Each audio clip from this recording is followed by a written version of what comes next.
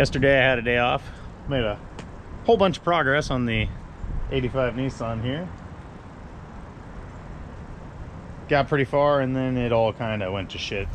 Uh, tires are flat spotted and uh, in hindsight, the whole no windshield things kind of sucks.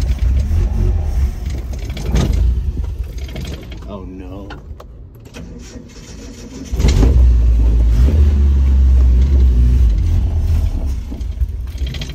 Uh-oh.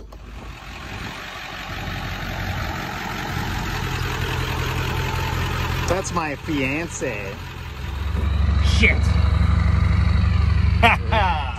Tried to go across the street.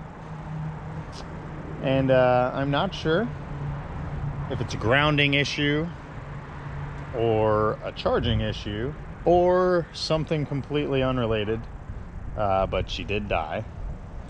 And um, now we gotta see if we can figure out uh, why. Because she was running great before that. So, do need to get her out of this mud hole and all my trash so we can uh, play with it. So, let's see. So, one thing I started doing yesterday was deleting a lot of the emissions junk out of here, um, cleaning up the engine bay a little bit, and I think the uh, engine was grounding sort of through all those extra solenoids and sensors. Um, and once I removed them, it's now lacking enough grounding. Um, also, looks like the fusible links maybe burned up in this thing at one point and someone replaced it with house wiring and wire nuts. Uh, the alternator was putting out 12 volts. I'm not sure if the regulator is bad or if the alternator brushes are bad or if just the wiring is not so hot. Definitely was not sending any power out to the battery. The battery was slowly dropping all day yesterday. So, gotta diagnose that.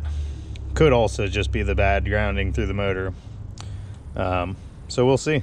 See what we can come up with. I'm gonna add some grounds. Already started. Um, and then maybe address this situation. We'll see if uh, she wants to crank again. So did a really, really bad job connecting those. Definitely gonna have to redo it. Um, added a whole bunch of grounds. Gonna have to redo those because I hate messy wiring. You know, crank up the fuel pump. See what she does off the key this time.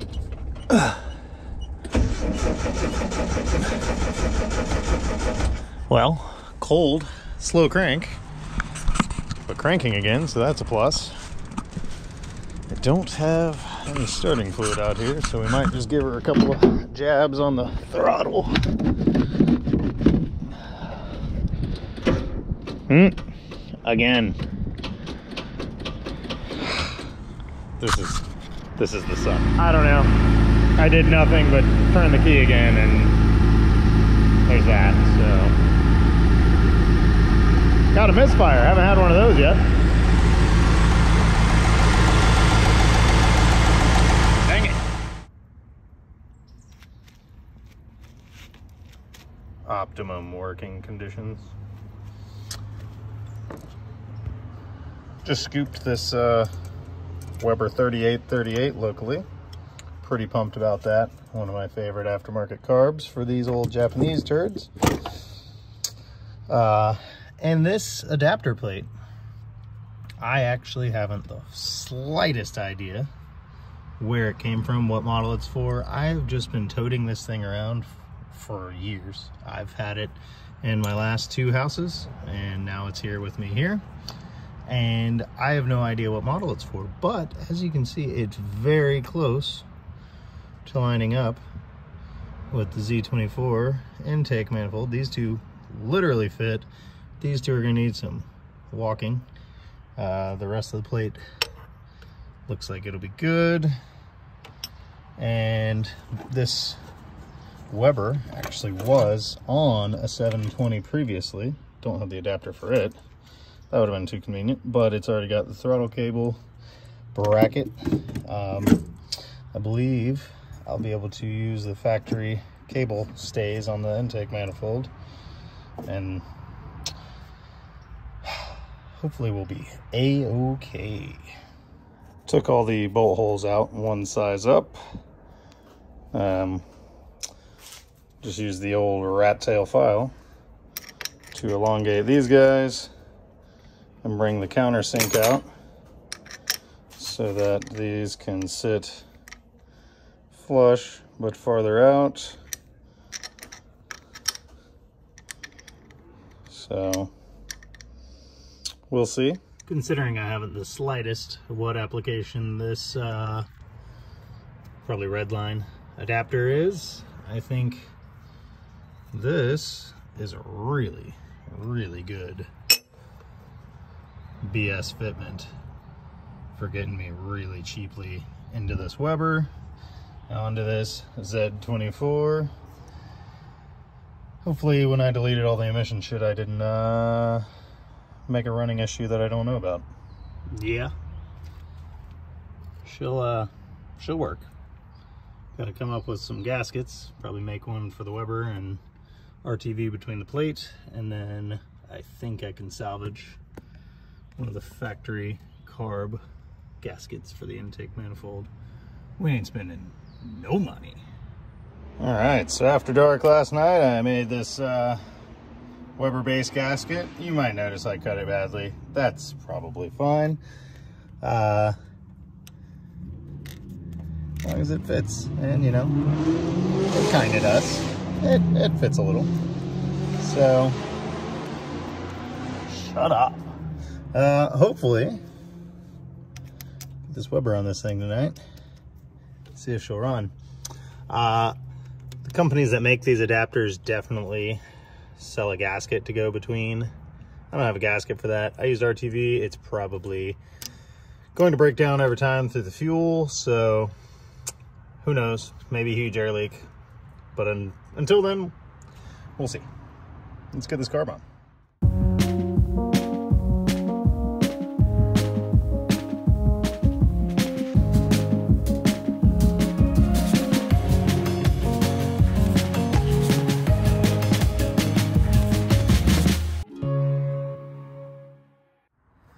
So we got her on there. Gotta get some fresh fuel line. Uh, looks like the throttle cable bracket will line up. I did elongate these holes to push her that way a little bit. And we are on the very end of the slot just to try to get the cable a little straighter in line. Uh, she does work from the pedal. So I guess we'll get this thing plumbed up and see if she starts. Got some fuel line on it. Guess we'll go ahead and uh, cycle the key to prime the fuel system.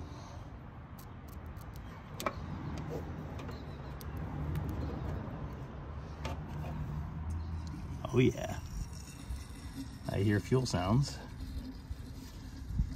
I know this carb has sat for a really long time, so we'll run it for a second, see if it starts pouring fuel out anywhere. No, she's just doing the thing. Okay, well, choke isn't hooked up, but uh, we'll see if she'll uh, spin off. Hmm. Starter, no starter.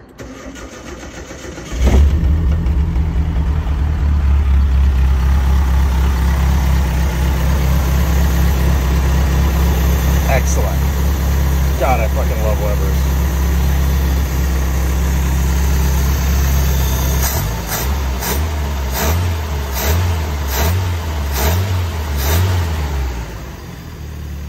she likes it.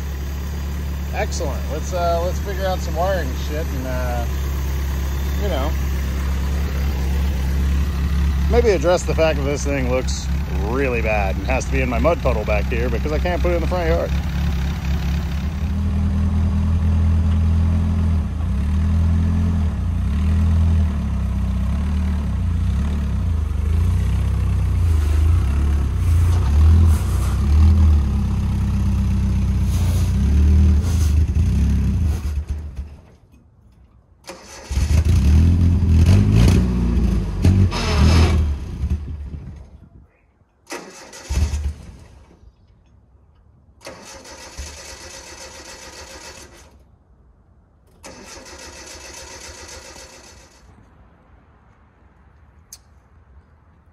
It's doing that thing where it uh, doesn't run anymore. No sweat. Seems like it uh, is just my extremely expensive fuel pump relay wiring had uh, just, you know, come undone. Runs great. I mean, I don't know, maybe.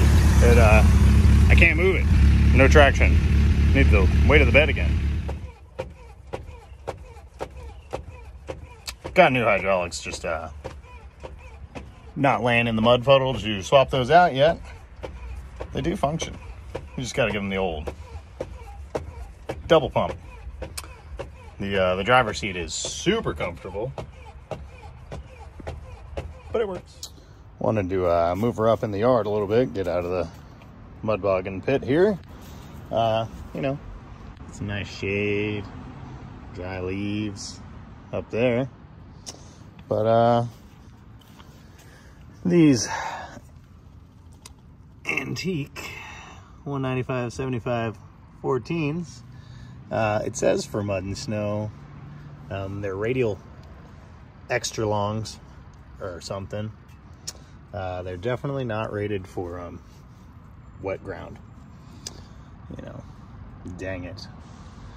I just washed that. I just just washed that well, guess I'll work on wiring, you know. Maybe take that blue door off. I don't know. Well, I, I swear, I really was gonna dig into the uh,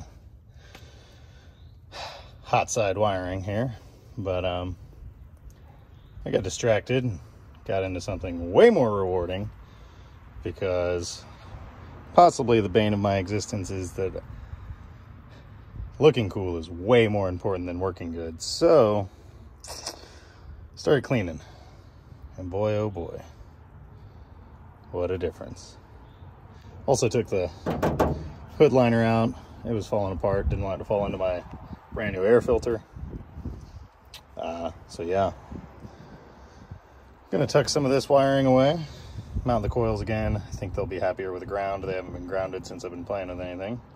And uh, pretty sure this huge harness here can actually go up under the core support and instead of running on top, get rid of these big clips, keep cleaning, keep cleaning, keep, probably not clean that, keep cleaning.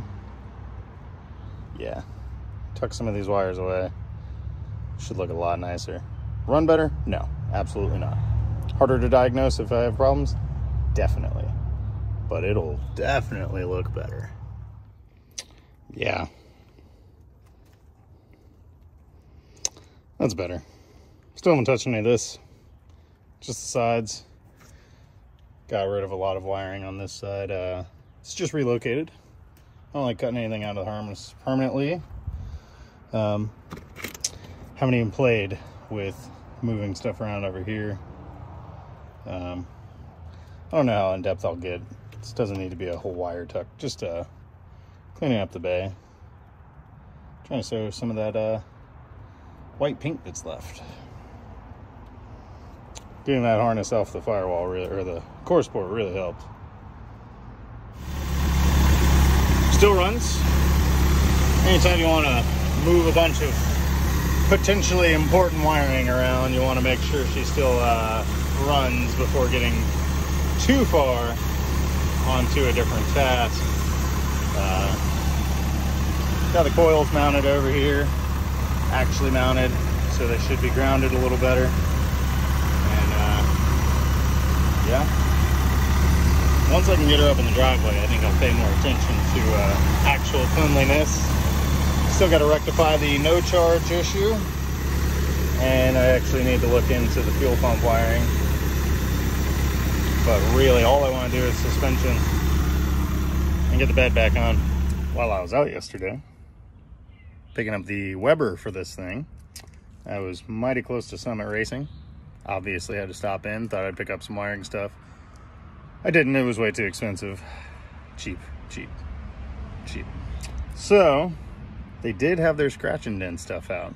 And on that rack I found a pair of KYBs. I don't buy name brand. Pretty cheap guy here. They uh, they retail at uh, 40 bucks. They were 15 bucks each. Not bad. 30 for a pair of shocks. They're very, very close to the fronts on this truck, but also the 720 actually uses eye to post on the rear shocks, which is kind of unusual. Uh, most trucks are eye to eye. Uh, so the way I plan on lowering this truck would be nice to run shorter rear shocks and act as kind of a limiting strap. That way, if I want, I can do the exhaust under the axle. And when you jack the thing up, the uh, axle won't come down and take out the exhaust. That being said, the exhaust actually looks pretty mint to me. I might just leave it as it is. It's probably fine. Yeah. But it did drive with the Weber. I got it up past the mud boggin pit there. Just needed some momentum. Yeah. Finally did it. Actually dealt with the fusible links. Cleaned up this side. Still haven't touched the motor. Haven't got the back of the firewall. But wiring is much, much cleaner. Uh, you might wonder why I didn't pull that. I do plan on trying to get the AC back going in this thing. Live in Georgia. It's like a million here. It's hot right now, and it's wintertime. So, you know, AC's cool. Especially on $250 beaters. It's extra cool.